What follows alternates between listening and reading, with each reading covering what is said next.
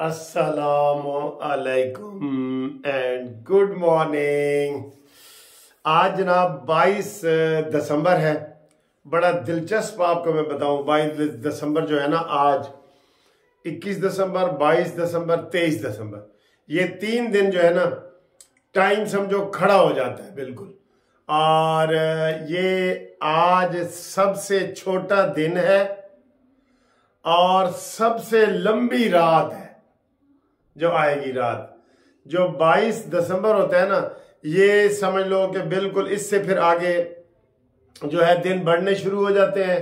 और अब आप देखें हमारी जो पाँच बजे से भी पहले कई इलाकों में मगरब की नमाज़ हो जाती है, पाँच बजे से भी पहले। और गर्मियों में सात बजे के बाद। और ये तब्दीली जो है ना, यूरोप, अमेरिका में बहुत ज़्यादा होती है। वहाँ पे अब समझ ले कि चार बजे सूरज गरूब हो जाता है। और गर्मियों में दस बजे रात को हम उधर मगरब की नमाज़ पढ़ते हैं लंदन में। तो ये बड़ा दिलचस्प है। आज ये, जनाब, सबसे छोटा दिन है और सबसे लंबी रात है। और देखें कैसे कैलेंडर ये बनाया गया था, जो ईसवी कैलेंडर है, ये नवंबर, दिसंबर, जनवरी, फरवरी का, एक सेकंड का भी फ़र्क नहीं है। अगर एक सेकंड का भी फ़र्क हो ना तो कभी दिसंबर गर्मियों में आ रहा हो, कभी सर्दियों, जैसे हमारे रोज़े होते हैं ना, कभी सर्दियों में आ जाते हैं, कभी गर्मियों में आ जाते हैं, क्योंकि हम चाँद के हिसाब से करते हैं ना। तो चाँद कभी तीस का होता है, कभी इकतीस का होता है। तो इन्होंने कैलकुलेशन करके फरवरी को अट्ठाईस महीने का बना दिया, लीप का साल, फिर उनतीस का बना दिया, फिर कोई महीना तीस का बना दिया, कोई इकतीस का बना दिया तो देखे वो ईसा के ज़माने से ये कैलेंडर सेट हुआ था। कितना नॉलेज था उस वक्त जो आज शायद हम नया बनाने लगे तो उसमें कोई कमजोरियाँ निकल आए बहरहाल साइंस ने और अलूम ने उस वक्त भी बड़ी तरक्की की हुई थी, ठीक है? चले जी, आज बड़ा अहम दिन है। आज मैं बड़ा अहम सी यही मेनू वहम सी। इमरान कहता सी, कब्रिस्तान में लिखा होता है ना। इमरान कहता सी, मैं बड़ा अहम सी, यही मैनू वहम सी। आप इमरान जेल में पड़ा है। कहते, जेल में इमरान हमारी रेड लाइन है। जो इमरान को पकड़ेगा ना, हम उसको ये कर देंगे, वो कर देंगे। उन्होंने ऐसा पकड़ा ऐसा पकड़ा कि जनाब माफिया मांगने पे तुले हुए हैं सारे। अंदर खाते यकीन करें, पाँव पड़े हुए हैं ये। इमरान खान पाँव पड़े हुए हैं कि जनाब भुड़ बस कर दो माफ़ कर। अच्छा जी, आज इलेक्शन कमीशन ने हर सूरत में, आज सूरज गरूब होने से पहले पहले, आज तो वैसे सबसे छोटा दिन है, सूरज गरूब होने से पहले पहले इमरान खान की किस्मत का फैसला सुनाना है बल्ले के निशान पे। हमारी ये पेशन गोई है, आपने भी अक्सर ने लोगों ने यही कहा है, अस्सी फ़ीसद उम्मीद है कि उनको बल्ला नहीं मिलेगा। और लालटेन वाले को लालटेन नहीं मिलेगी ए एन पी वालों को। ये बराबर ही हो गए। हैं लेकिन अगर मिल भी जाए अगर मिल भी जाए सपोज़ अगर तू मिल भी जाए इत, अगर तू इत्तेफाकन मिल भी जाए तेरी फुरकत के सदमे कम ना होंगे। अगर इनको मिल भी जाए ना तो जो बाकी शिकायतें हैं जी हमसे वो छीने जा रहे हैं कागजात नामजदगी और हमें मारा जा रहा है ये और भाई तुमने सारे मफरूरों को टिकट देने का ऐलान किया है।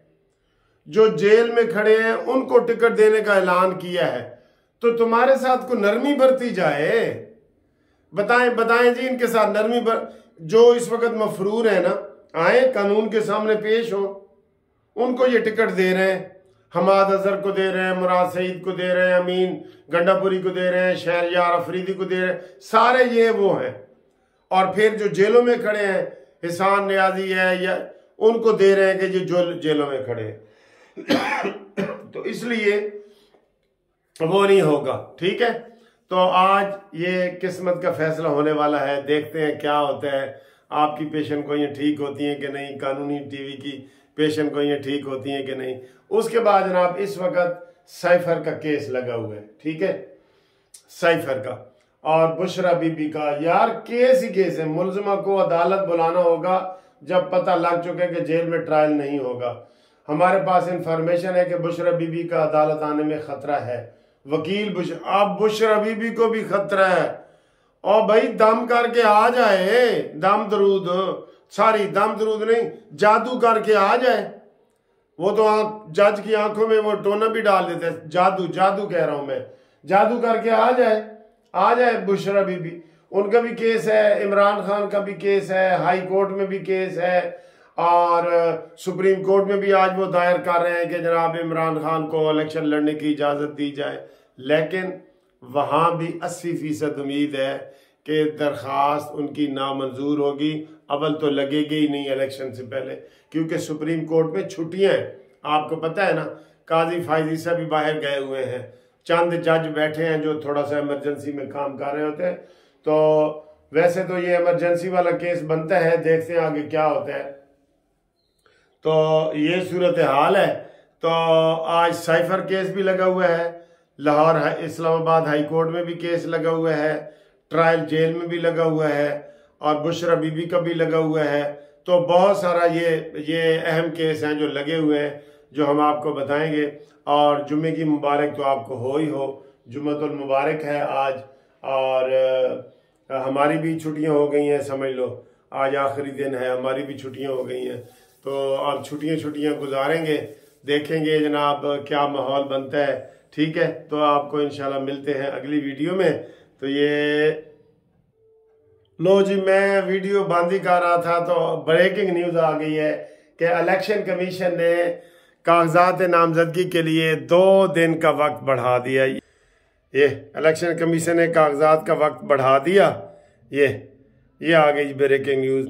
कागजात नामजदगी जमा कराने के वक्त में दो दिन का कागजात जमा कराओ, सर जी।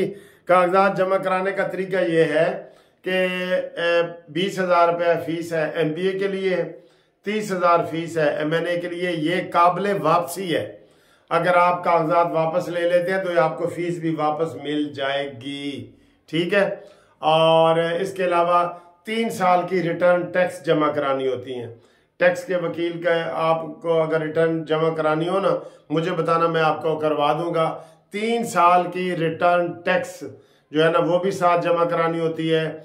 और उसमें फिर जनाब आपके कागजात जमा होते हैं। और आपके अपने हल्के से हल्के से एमएनए और एमपीए के लिए आपके हल्के से, आपके हल्के से आप कहीं से भी इलेक्शन लड़ सकते हैं।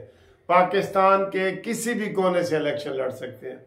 एमपी के लिए होता है कि उस सूबे का तजवीज़ कुनंदा और तयन कुनंदा आपके हल्के का होना चाहिए सारी, आपके हल्के का। और एमएनए के लिए भी यही है कि आपके हल्के का तजवीज़ कुनंदा और तयन कुनंदा ये दो दो जो है ना होने चाहिए। और बाकी बाकी जनाब वो सारा है। आपको हमने जाते जाते ब्रेकिंग न्यूज़ भी दे दी है। और आठ तारीख को ये इलेक्शन होंगे, लेकिन उसके ऊपर इन्होंने 24 तक तारीख बढ़ा दी है। आज 22 है ना 24 तक बढ़ा दी है। हूँ जिन्होंने नहीं ने जमा कराए, वो करा लो। जिन्होंने को खोए गए ने, वो जाके जमा करा लो। ठीक है?